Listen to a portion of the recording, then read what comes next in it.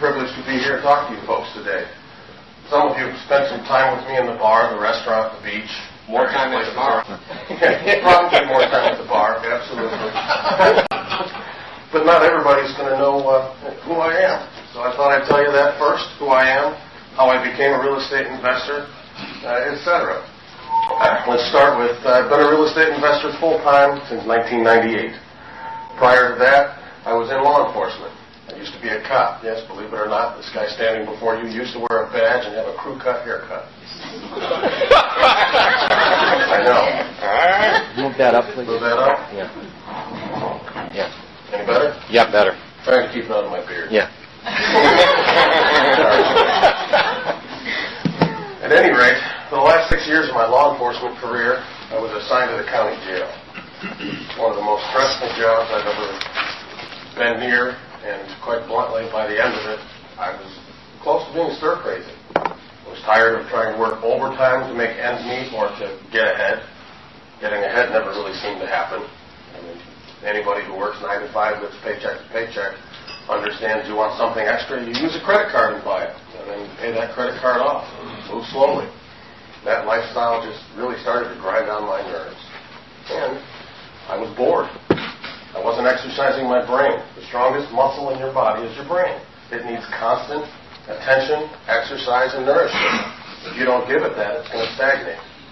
So I quit. I said, the hell with it.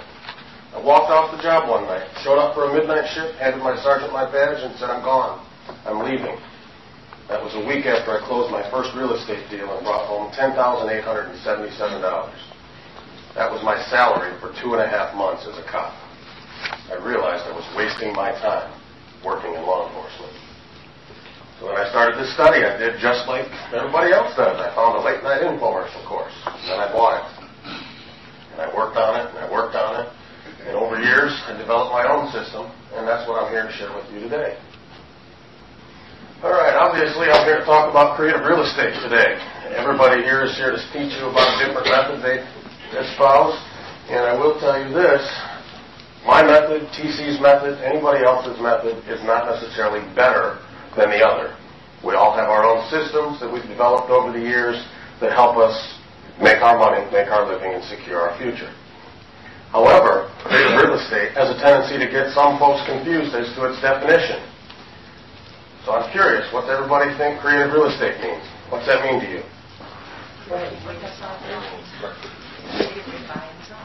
Sure. Does it always mean no money and no creditor needed? A lot of times I speak, folks seem to think creative real estate means no money down. It doesn't. Does the seller always have to be desperate to accept your creative offer? Absolutely not. What do all creative real estate offers have in common? Does anybody have an idea?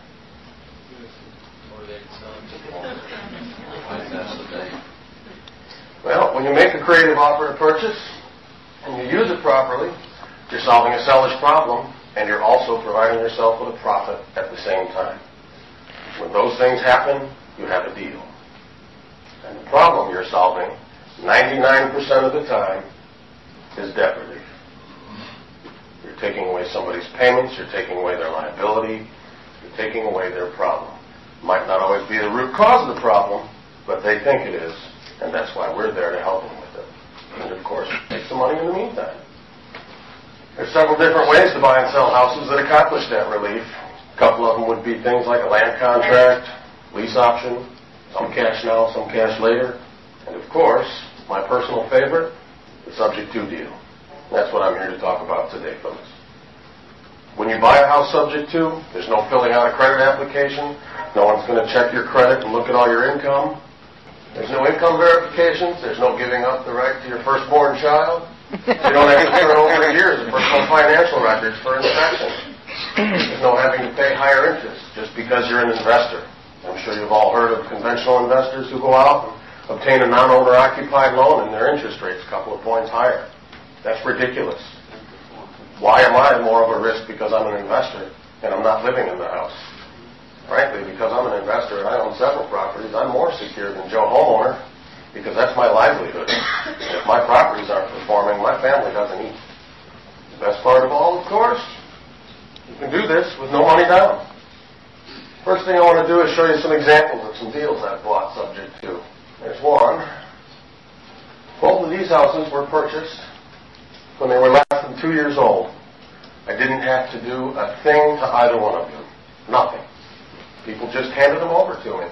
In fact, the house on the left was a father and daughter who bought the house together. They then had a falling out six months after living in the house, and both of them refused to live in it, refused to make the payments, and they just wanted to be out. So I told them, look, I can buy your house, but you've had it less than a year. There's not a ton of equity. There was. It was a fast appreciating market. But there's not a ton of equity because you've only owned it so long. So I'm not going to step in and just buy your house.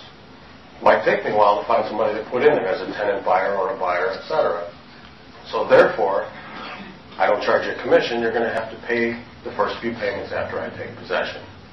And those folks paid the first three or four payments after I bought that house. And the good news is I put a tenant buyer in it within two weeks. So I had some fantastic income. The sellers covered the payments and my cash flow was killer. The house on the left was given to me by a frustrated out-of-state landlord. This was a, uh, a couple that had lived here in Florida, and they decided to let their children rent their house from them. Their children let all of their friends move in, and then the children moved out. you can imagine what the inside looked like. It uh, really wasn't that bad. It was just dirty. Typical 18, 19-year-old kids who don't clean. And they moved out. This is a duplex on the right. This was another subject to deal. Bought this particular house, excuse me, this particular duplex from somebody who was just a burned out landlord. They were tired of managing it. Sadly, like it says on the bottom, the duplex burned down right after I sold it to somebody else. Mm. Good news is there was nobody in it at the time. They had cleared the tenants out. They were going to remodel it and raise the rent. While it was vacant, it burned. Mm. And they were insured. First house here was purchased from some folks moving into an assisted living facility. I'm going to share a tip with you folks. That's a great place to market, by the way. If you have assisted living facilities in your area, talk to the administrators, talk to the managers. A lot of times people moving into these places need to liquidate assets. They're going to be using public assistance in one form or another to pay for that. And they are not allowed to have certain dollar amounts in assets. The administrators and managers of the assisted living facilities can tell you that. And after you develop a good relationship, when they get somebody who wants to move in and needs Medicaid or whatever public aid service it is that pays for it, and they have a house to sell because they, they have an asset. They're not allowed to have that many. So, of course, I get calls from these type of people, and they say, hey, Jim, come on over and meet Mr. and Mrs. Jones. They've got a house that they need to liquidate. They can only have X number of dollars. Certainly helps in negotiating, by the way, when you know ahead of time how much somebody can get for their home. This particular house, as you can see on the board, I paid $30,000 for it, and it was worth 80. The good news is, my wife and one of her lovely friends went over and cleaned it out for us. And we wound up having a, an estate sale, sold off the things we didn't want, obtained some fantastic antiques, and a set of appliances. I'm an appliance hoarder. When I buy a property, I like to keep the appliances. Because when somebody moves into one of my houses that doesn't have appliances, that's something I can sell them. And of course, I can sell it to them on payments. And the appliances didn't cost me a thing because it came with my house. The second home had no mortgage. Can you buy a house subject to that has no mortgage? Absolutely. It had $8,000 in code enforcement liens. And if you look at it, you can see there's boards on the front door, which has been kicked in at that point to my boot. And, uh, the back end of the house was covered in plywood as well.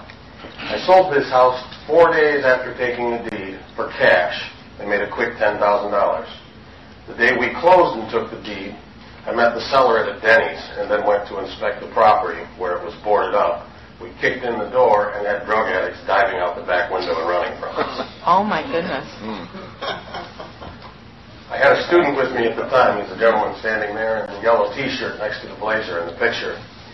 And he was dumbfounded on his cell phone. He had to call his mother back in Pennsylvania and say, you're not going to believe what I just saw.